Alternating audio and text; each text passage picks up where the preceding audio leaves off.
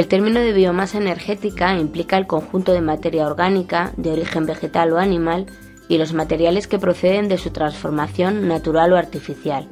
En este amplio conjunto se incluyen los residuos y subproductos procedentes de actividades agrícolas, ganaderas, forestales, etc., así como residuos urbanos y los denominados cultivos energéticos, es decir, aquellos cultivos que se generan con la única finalidad de producir biomasa transformable en combustible.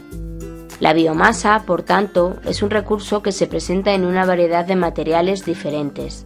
Las características de algunos materiales permiten que estos puedan emplearse directamente como combustibles. Sin embargo, otros requieren de una serie de tratamientos previos para su aprovechamiento energético.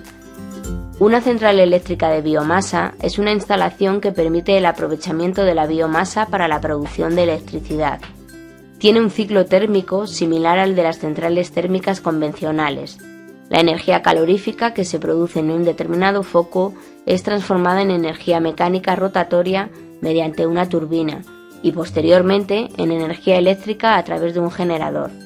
La diferencia está en que el combustible principal utilizado para producir la energía calorífica en el caso de las centrales de biomasa lo constituyen principalmente los residuos forestales, los cultivos de plantas energéticas o los residuos agrícolas. La energía química de la biomasa se libera mediante su combustión en una caldera.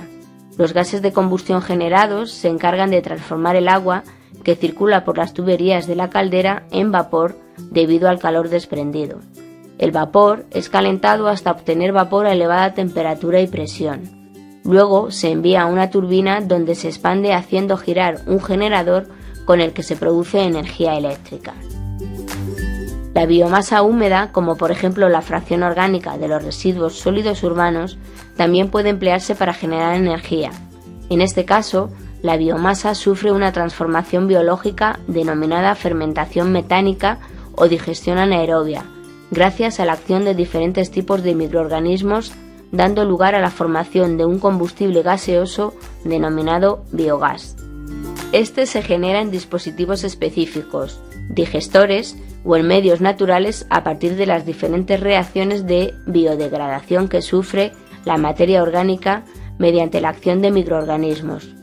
Un lugar habitual donde se genera una cantidad considerable de biogás son los vertederos de residuos sólidos urbanos.